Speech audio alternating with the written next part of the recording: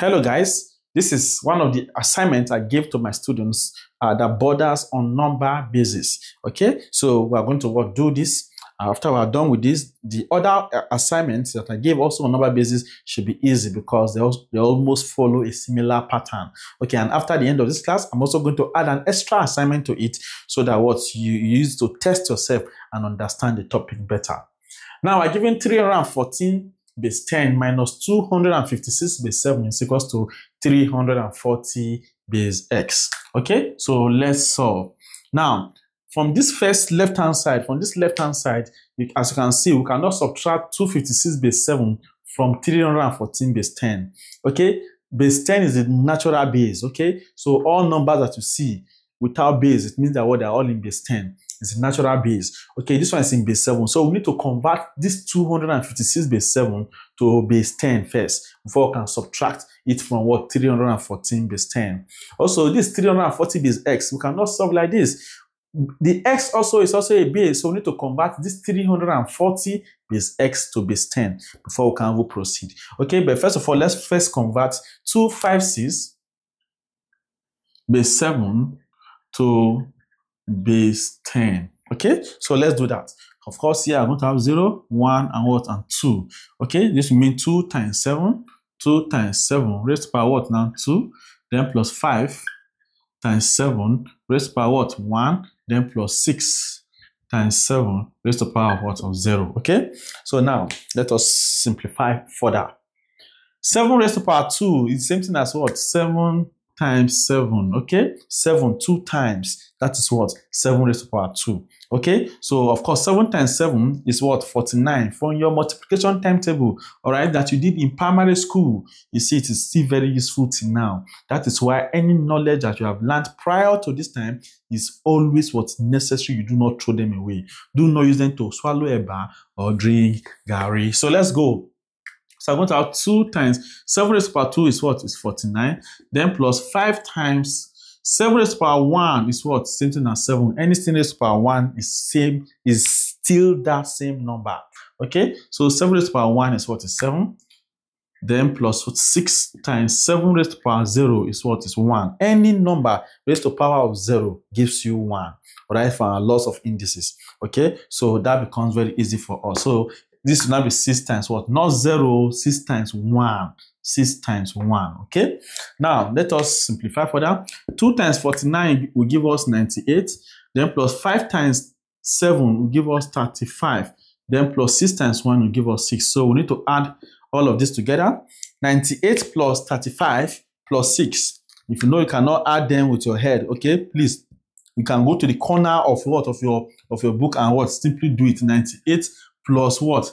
35 plus what now? Plus 6. Okay, 8 plus 5 is 13. 13 plus 6 is what is 19. So we're writing 9, we're carrying 1. 9 plus 3 is 12. 12 plus 1 is what? Is 13. So I'm going to have 139. Is it in base 7 now? No, it's now in base 10. So this is now base 10.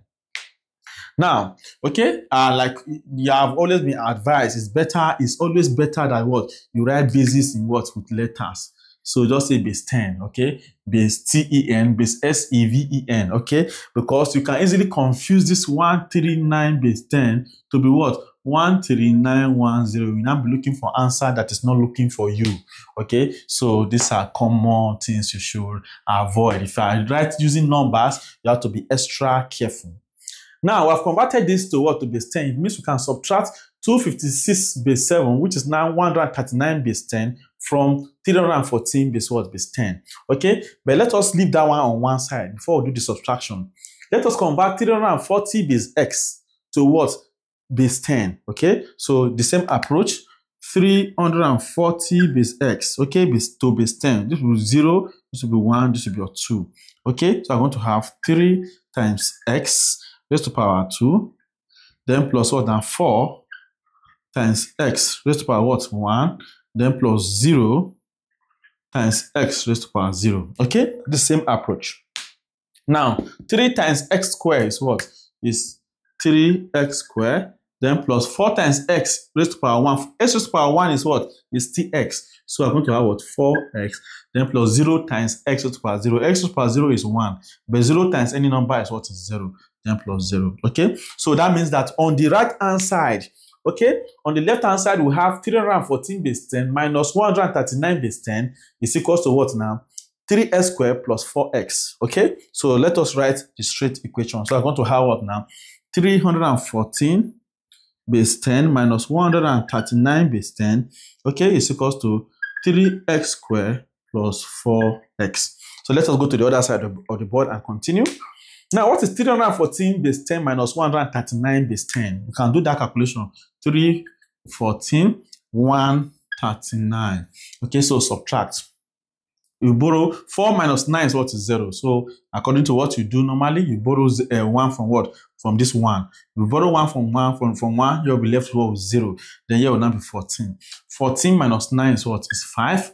Okay? Then 0 minus 3 still cannot. So you borrow 1 from here, you'll bring 2. Then you'll 1 what? Will now be 10. 10 minus 3 is what? Is 7.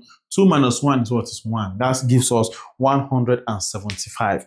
All right? So now, we've gotten the value on the right hand side. So that will give us now 175 is equals to what now?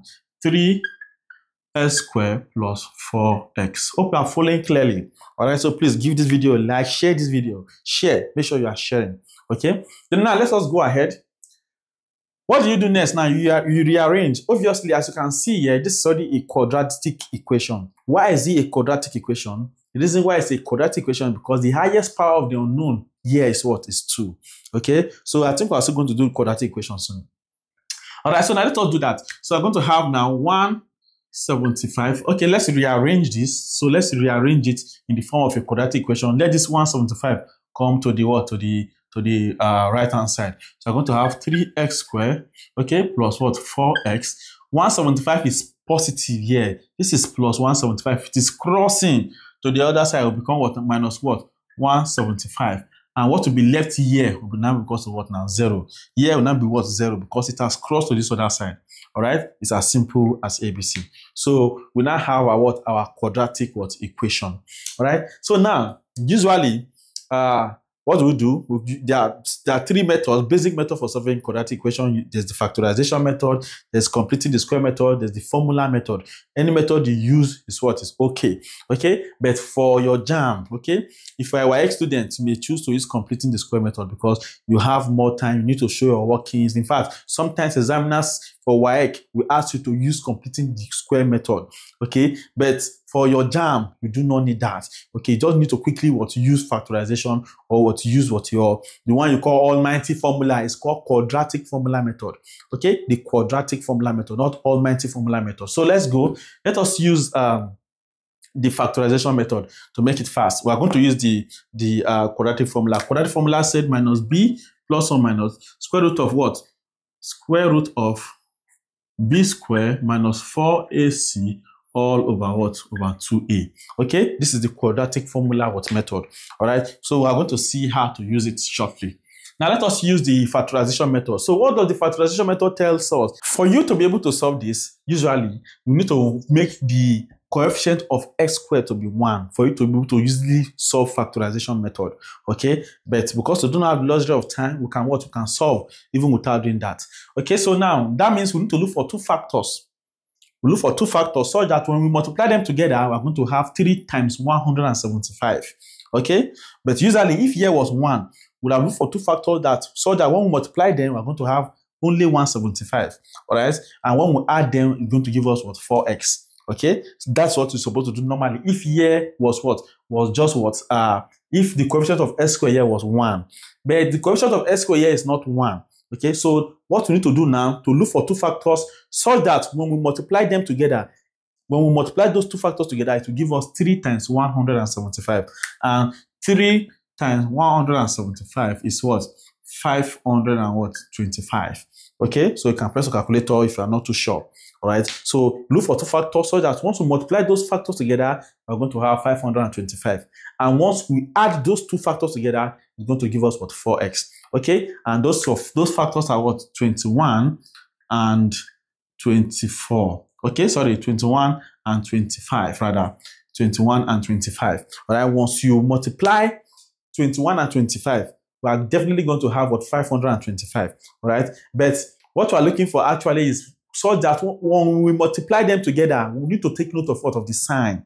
All right, we need to take, take note of the sign. Once we multiply those two factors together, it must give us minus 525 because this is what plus 3 here. Yes, what minus 175. 3 times minus 175 is minus 525. So we're actually looking for two factors so that once we multiply those two factors together, it will give us minus 525. And when we add those two factors together, we're going to have plus 4x. The sign is very important. If you miss the sign, you miss the answer. Okay, so we are looking for two factors so that when we multiply those two factors together, we're going to have what? Minus 525. And when we add them together, we're going to have what? Plus 4x. Now, our two factors are 21 and 25. Okay, that means it's going to be minus 21 and what? And plus 25 because minus 21 plus 25 is what? Is 4. Okay? Why what? Uh, 21, why minus 21 times 25 is what? 525. All right? Hope you understand that. Okay, so let us proceed. Since we have gotten our two factors, minus 21 and plus 25, that means we can now what? Factorize. I'm going to have 3x squared, then plus what now? 25x, okay? Minus 21x, then minus what? 175 is equal to what? 0. Okay, so it's as simple as A, B, C. So I'm going to have what, what to do, we simplify next. So the next thing we do is to simplify. Okay, so put this in what? In brackets. All right, then we'll put this word in also what? In what? In brackets. Okay, so what is common between 3x squared and 25x? The only thing that's common here is what is x. s is common.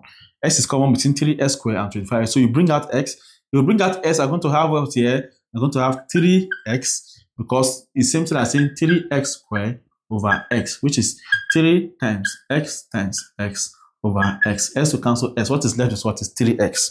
Okay, so what is common between 3x squared and 25s is what? Is x. Sorry, is what? Is x. And that will give us what? 3x. Then plus s, 25x divided by s is what? Is 25. So I'm going to have plus 25. All right. Then minus what now? What is common here? Okay, minus 7. Okay, minus 7 is common. Into brackets, we're going to have what now? What I'm going to have here?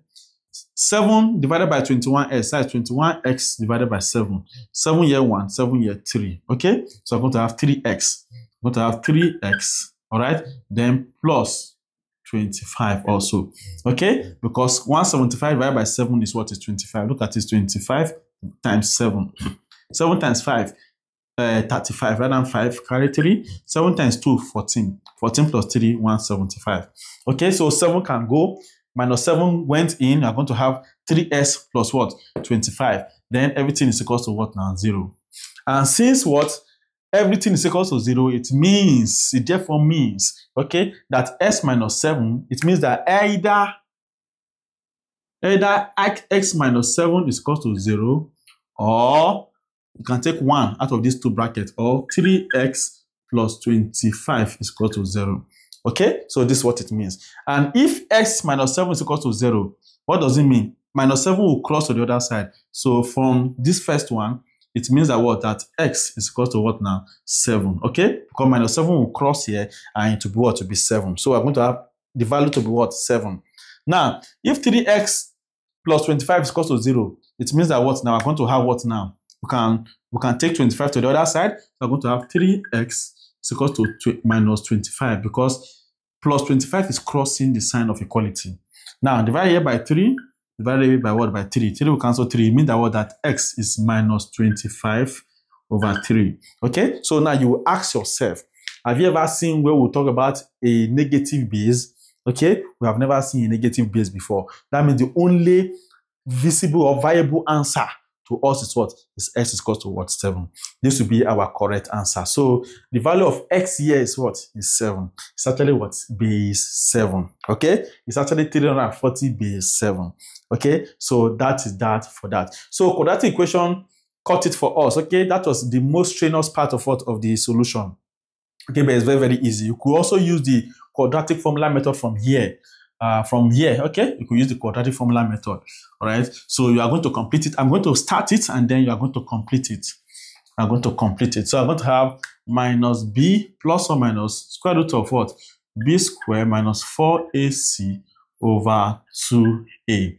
Okay, so yeah, it means your a, bring out of your, your data.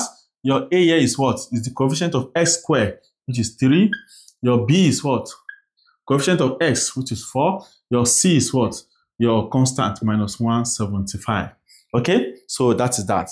Now, it's just for you to plug in these values into what this equation, that is all. So I'm going to have minus b. b is what? Rather, from here, b is 4. I'm going to have minus 4. Then they say plus or minus, so you can start with the plus first. Plus square root of b square minus 4 times, okay, no, now let us plug our values. b square is what? 4 square minus into bracket 4ac, 4 times, what is your a? 3 times what is your c? Minus 175 minus 175 square root of then all over what? Over 2 times. What is your a times 3 which is what 6 okay? So this will be what? Our our first value all right so now or this will be or minus 4 instead of we have done plus now we need to do what? Minus. This is plus this is for plus then this next one is what is for minus the second value i'm going to have what now square root of what 4 square minus what 4 times 3 times minus 175. Okay? Then all over what? 2 times 3. So you can do it. Do it. Any values you get, okay? One of the value will be what? Will be uh, positive. The other one also be negative, just as we got when we did factorization method. So any method is used is very, very, very, very okay. Do it and complete it and see that you are correct. Please take note of what of the sign. Where you may, where you may miss it is from this sign. Once you multiply 4 times 3, 12, times this minus 175, okay? This minus will open the bracket. So here will be positive overall. Here will be positive overall. So it will be 4 square plus, plus whatever you have in this what, in this what, in this, uh, in this bracket. Okay, so please take note of what of the sign. So let me give you an assignment to what? To go and try at home. Okay, try it, try it, try it to cement your understanding of uh, these examples, okay, of, of a question like this. Okay, so we, the second assignment actually before that I gave you was 110, 11 base 2, then plus x base 7 is equals to 25 base 10, okay? We said what? Find, find x, okay? This was the question I gave to you before as assignment. Okay, so now you are going to do it. You see, they are the only issue here, okay, is to what? Is to convert you see the same approach we did. You need to convert this to base 10 first. Then you convert also this one to what? To base 10 so that they are all in base 10 before you can proceed. All right. So now x base 7 is the challenge here. So put raised to power 0. So I got to what? x times 7 raised to power what? 0. 7 raised to power 0 is what? Is 1. So x times 1, which is what? x. Okay. So yeah, it's already in base 10 like this. Okay. This is now x base what? Base 10. Convert to base 7. Uh, sorry, convert from base 7 to base 10. That becomes your base 10. Then this one converts also to base 10. If it's in base 10, that means you can now subtract. Once this one is in base 10, you can subtract, uh, you can now take this one to this side and subtract it from 25 to get your x. Very simple. Okay, that's the second assignment I gave you. Or I have explained it, you should complete it. Now I'm going to give you the new assignment. The new assignment is this. Uh, what is the value of x if 122 base x is 62 base 8 okay? So please go and attempt this one. All right? It's very also very easy. Okay? It's all the same approach you have been using. Convert all of them to base 10 and then you can find your x. This one should lead you also to a quadratic equation. That's why i'm, I'm giving it to you. All right? So thank you for joining in. I'll see you in the next one